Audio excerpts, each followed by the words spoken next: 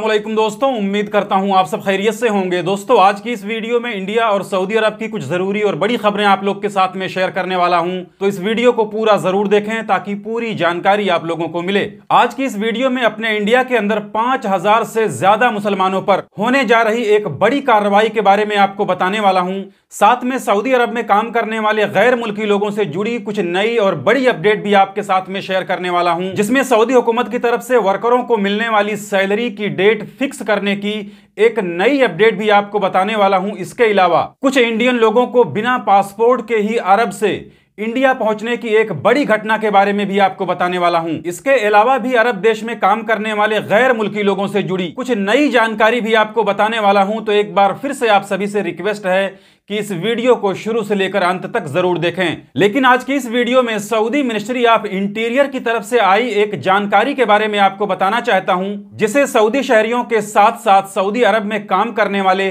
गैर मुल्की लोगों को भी जानना ज़रूरी है। तो देखिए, कल सऊदी अरब के एक टीवी चैनल पर सऊदी मिनिस्ट्री ऑफ़ इंटीरियर के प्रवक्ता कर्नल तलाल अल शहलूल ने बताया है कि सऊदी अरब के अंदर किसी भी अपराध यानी किसी भी जुर्म को होता देख, अगर कोई उसकी वीडियो बनाकर सोशल मीडिया पर शेयर करता है तो ये एक अपराध है जो साइबर क्राइम की कैटेगरी में आता है, जिसमें वीडियो बनाकर शेयर करने वाले लोगों को जेल और जुर्माना दोनों हो सकता है, भले ही वो किसी जुर्म में शामिल ना रहा हो, बल्कि सऊदी अरब के अंदर कोई भी शख्स कहीं पर कोई जुर्म, कोई अपराध होता हुआ देखे तो उसकी जानकारी सऊदी पुलिस को दे, ना कि उसकी वीडियो बनाकर सोशल मीडिया पर शेयर करना शुरू कर दे।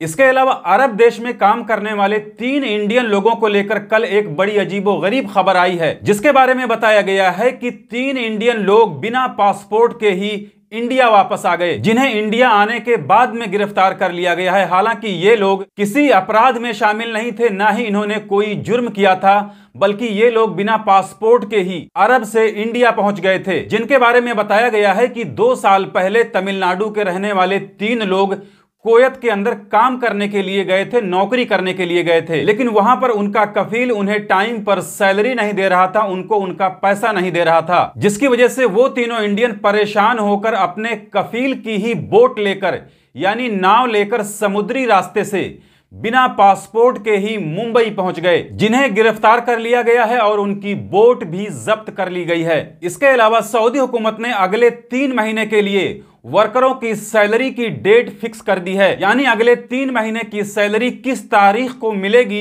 इसकी जानकारी सऊदी हुकूमत की तरफ़ से देते हुए कहा गया है कि सऊदी अरब के सरकारी इदारों में काम करने वाले वर्करों की सैलरी फरवरी के महीने में 27 फरवरी को, मार्च की सैलरी 28 मार्च को और अप्रैल की सैलरी 27 अप्रैल को दी जाएगी। हालाँकि ये जानकारी सऊदी अरब के सरकारी इदारों में काम करने वाले सऊदी शहरियों के लिए दी गई है। इस खबर से गैर मुल्कियों का कोई लेना देना नहीं है। इसके अलावा सऊदी वाइल्ड लाइफ सेंटर की तरफ़ से एक वार्निंग देते हुए कहा गया है कि सऊदी अरब के अंदर बंदरों को खाना देने पर पाँच सौ रियाल का जुर्माना लग सकता है। तो जैसा कि आप सभी लोग जानते हैं कि सऊदी अरब के सेहरा में कई जगहों पर बहुत सारे बंदर हैं, जहाँ पर लोग घूमने के लिए भी जाते हैं और वहाँ वो लोग बंदरों को खाना वगैरह भी देने लगते हैं। जिससे मना करते हुए सऊदी हुकूमत ने बताया है कि वहाँ पर कैमरे लगे हुए हैं और उन कैमरों के ज़रिए वाइल्ड लाइफ सेंटर के लोग नज़र रख रहे हैं, जिसमें अगर कोई आदमी अगर बंदरों को खाना देता हुआ पकड़ा जाएगा तो उस पर पाँच सौ रियाल का जुर्माना लग सकता है। इसके अलावा एक अपडेट, वो गाड़ियाँ चलाने वाले गैर मुल्कियों के लिए अरब इमरात से भी आई है, जिसमें अरब इमरात की ट्रैफ़िक पुलिस ने वार्निंग देते हुए कहा है कि पूरे अरब इमरात के अंदर गाड़ियाँ चलाते वक्त गाड़ियों की खिड़की से झांकना या फिर गाड़ियों के सन रूफ से बाहर आने पर जुर्माना लग सकता है, जो कि 2000 इमराती दिरहम तक हो सकता है। और इस वायलेशन की वजह से ऑलरेडी कई लोगों पर जुर्माने लग चुके हैं। इसके अलावा अब बात कर लेते हैं इंडिया के अंदर पाँच हज़ार से ज़्यादा मुसलमानों पर होने जा रही एक बड़ी कार्रवाई के बारे में। तो जैसा कि आप में से बहुत से लोगों को पता होगा कि परसों वाले दिन, यानी 8 फरवरी 2024 को, उत्तराखंड के हल्द्वानी में एक मस्जिद और मदरसे को गिराए जाने के बाद वहाँ पर एक भयानक हिंसा भड़क गई थी, जिसमें करीब छह लोगों की मौत हो गई थी और सैकड़ों लोग घायल भी हो गए थे।